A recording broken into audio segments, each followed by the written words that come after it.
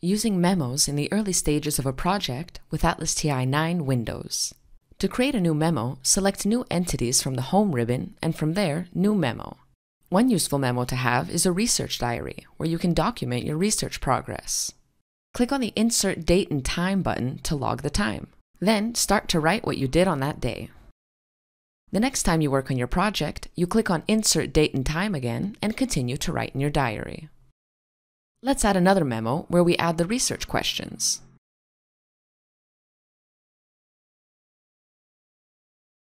As we currently have no memo groups in the Memo Manager, we can also hide this area. Select the View tab and deactivate Memo Groups. Let's create another memo. Instead of writing notes on paper, you can collect all ideas along the way in an idea memo. When you close a memo and have not yet saved it, ATLAS.ti will remind you to do so. Another useful memo is the To Do memo. Here you can write down all planned tasks for the day or week, or also future milestones. Memos can also be used to remind you of theoretical concepts that are useful for your analysis, as shown here in the example self-consistency theory.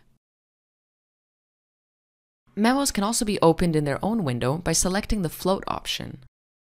To distinguish the various kinds of memos that you will create throughout a project, you can add memo types. Select a memo and then the Set Type button in the ribbon. You can select an existing memo type or enter a new one, then click on Set Type. With a click on the column header type, you can sort all memos by type.